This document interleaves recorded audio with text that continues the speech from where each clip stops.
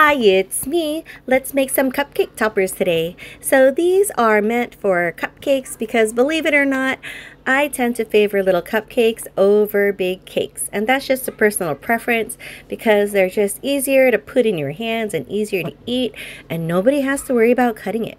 So that's why I made these cupcake toppers. It's for those people who prefer cupcakes over a full-size cake. And check these out. These are meant for graduation where there's probably a lot of people celebrating. And yeah, it's going to be really cool. So I didn't favor the way the glue looked on the back, so I covered it with another piece of cardstock and it looks so much cleaner to me. Anyways, look how cute they look on these cupcakes next to the banner. What do you guys think? I like it.